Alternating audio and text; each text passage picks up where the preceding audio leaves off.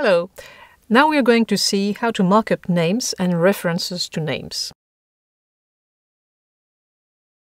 Let's start with a, um, a, sim simple example uh, taken from Jane Austen's Pride and Prejudice.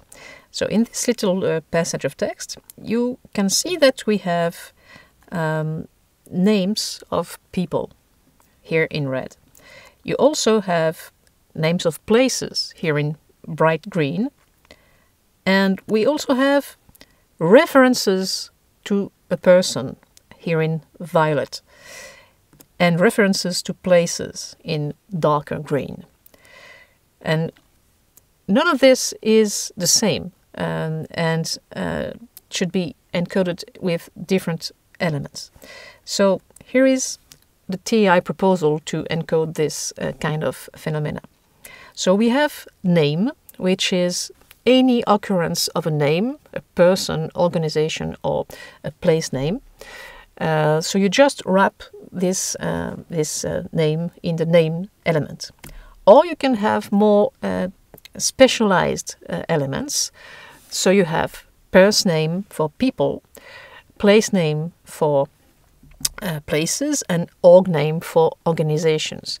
Functionally, they are completely equivalent to the name element, which would have a type person or type place or type organization.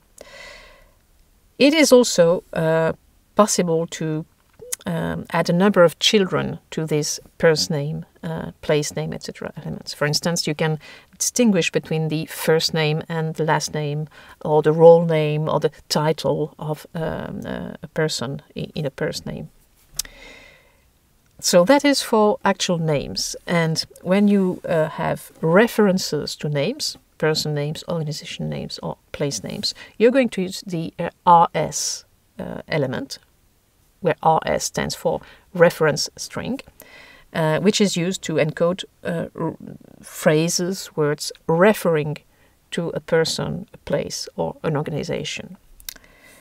So, this is how the same passage would look encoded with this principle. So you see that the references to uh, people or places are encoded with RS, and the people names are encoded with person name, and the place name are encoded with place name. Very simple. But now we're going to see how to, to create a link uh, between the description of people, places, or organizations and the occurrences of their name in the text. Because with the previous example, uh, we just have said that this part of the text is a place name, or this part of the text is a reference to a person. But we have not created a, a link between this place name or person name and a description of the actual place or person uh, which is uh, named here. So um, to create that, we are going to start with uh, creating um, a list of persons, of places, and organizations if we need to. Uh, in the TEI header, you have on the slide the uh, uh, exact path where we should put this list of persons uh, or places. And uh, we're going to attribute an ID, a unique ID, with the XML ID attribute to each person or place in the list. And then we're going to use the value of this uh, XML ID attribute uh, in a ref attribute on each place name or person name uh, in the text. So, for instance, uh, for the same sample from uh, um, Jane Austen's Pride and Prejudice, we would have uh, a list of persons and a list of places. Here I've just put one person fully encoded uh, which is Charles Bingley. Uh, so you can see that um, uh, each person can have a person name. Um, the person name can be explained to be composed of a full name and surname and other things. Uh, we can encode the age of the person, we can add notes, etc. etc. I also recommend that you check the uh, TEI guidelines for a full explanation of the uh, range of uh, attributes and, um, and elements available for describing a, a person. And then we would have a list of places. Here I've just encoded one, which is Netherfield Park, um, a fictional uh, location. So we don't have any uh, geographic coordinates. And that is all. Same uh, remark. Uh, go to the guidelines to see the full range of uh, possibilities to describe a place.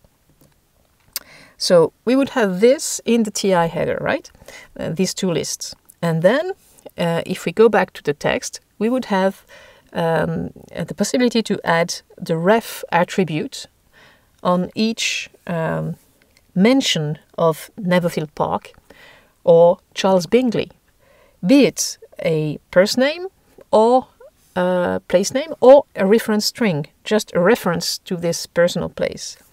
So here you can see that I point to uh, the description of Netherfield Park and Charles Bingley using the um, uh, value of their XML ID attribute in the ref attribute of RS and uh, person name or place name referring to them. I recommend that you check the guidelines about the possibilities to describe a, a person or a place, but we can also give you some examples and some uh, indications here. So, um, for the name of a person, uh, the person name inside the description of a person, it can be composed of uh, many other elements, sub-elements.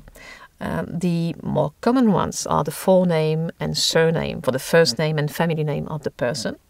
You can also have a name link, uh, which is a um, kind of connecting phrase, which is not quite part of the name, mm, but is used within the name. Like uh, I give you the uh, example of Montgomery of Alamein, so of would be a name link here.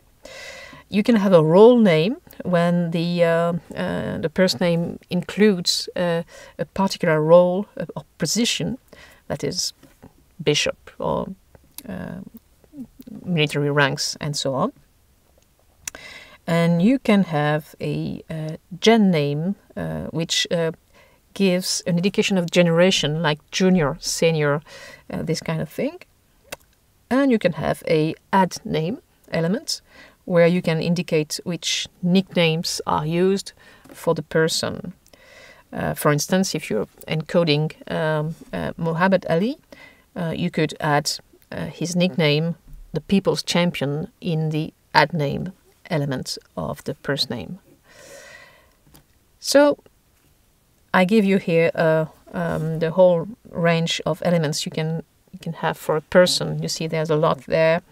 Uh, of course, they are optional. You don't have to use everything uh, listed here, but I recommend that you check the guidelines once again uh, to um, to get a better ID and, uh, and description uh, of uh, of the possibilities. If we look at the example here, I've proposed you the encoding of Ovidius um, in a list of persons. the this Latin author um, is uh, known as Ovid in English, but his full Latin name was Publius Ovidius Naso. He was born on March 20th, uh, 43 BC, in a city named Sulmona, which lies in uh, nowadays Italy.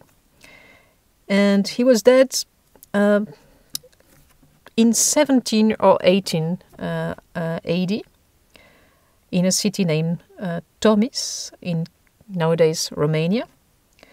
We know he was male, his religion was pagan, and his status, social status, uh, occupation was uh, to be a poet. You can see that uh, all this can be encoded uh, in, in TEI very easily. Um, you'll note that um, uh, I'm using the uh, attributes when on the date of birth because we have a precise date of birth. And I've encoded the date in the attribute when so that I can place that automatically on a timeline. This date here in when can be processed by a computer. The full date uh, in, in, uh, in written uh, as March the 20th, 43 BC cannot be processed by a computer. Um, you see that for the deaf, Oddly, we do not have a precise date of death, uh, but I can use the attributes not before and not after to give a range of dates uh, uh, for for uh, for this for this date. this is just an example. You can see also that I've used the XML lang language attribute on on first name to uh, say that uh, there is a English version of his name and a Latin version of his name. This is just an example, so to give you uh, um, some um, um, uh, startup with encoding people, but again, the guidelines are the reference point.